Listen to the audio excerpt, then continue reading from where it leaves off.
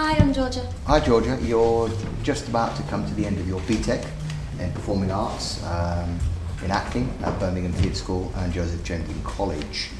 Um, and tell me a little bit about the background because you came from a slightly different educational route, didn't you? Yeah, I was homeschooled for quite a few years. What does that mean? For Um, I you just don't go to school? Yeah, I wasn't in mainstream education, so Okay. everything that I wanted to learn, I taught myself, and then I took two GCSEs before I went in to do my level two before I came here. And where did you do the level two at college? Uh, yes, Sandwell and Dudley. Right, so you spent the vast majority of your up to GCSEs at home Yeah. and then went into college. How was that transition between home and college? I thought it would be a lot harder than it was, because my sister has quite an issue with authority, whereas I don't. So her going back into school now is slightly different Mm. to me going into college. Okay, so you came to us um, having had a little bit of taste of college. Yeah.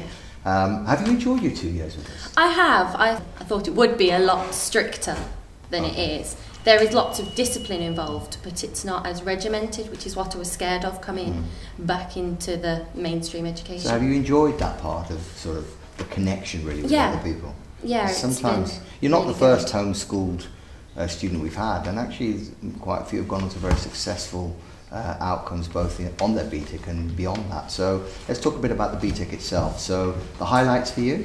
Oh, what lovely war. Really? With, without a doubt, I was the master of ceremonies, the MC. I was in it for the entirety of the two and a half hours. So you had to learn a lot of information, There was a lot of information going facts, in. figures, and details. Yeah. And if you got them wrong, Oh God, just it was pretty obvious. it would have been so obvious. Singing and dancing as well. Yeah, I really enjoyed that. So that you was, were involved as a as sort of part of the vaudeville team, Yeah. which involved quite a series of complex dance routines, and then also obviously some singing as well within it. Yes, and then popping in and out of characters throughout the play as well. And it was sort of promenadial in the sense that it happened around. What, tell me a bit about that. Um, well, the audience could be involved Mm. if they wanted to, Mm. or they could sit back and watch, which was really interesting from an acting point of view because you could pinpoint the people who really did want to be involved Mhm. and you can play off that. All right. Whereas in a normal situation with audience on one side and actors on the other, you don't really get that interaction. Okay, and you're coming to the end uh, in the next two weeks, sadly. Uh, and you're about to graduate doing a production of Our Country's Good. Our and the character you're playing in that? John Arscott, he's a convict, um, bit of a mad one, problems with authority, so there's lots of interaction between the convicts and the officers. And what are you hoping to go on to do next? I'm off to Australia for a year. Fantastic. Um, got to go and talk to the woman who owns the Melbourne Theatre Company.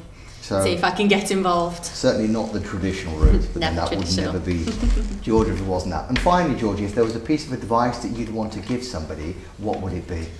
Don't be scared to put yourself forward. If you've got a skill or something that you enjoy doing, the worst that's going to happen is you're going to be told not now.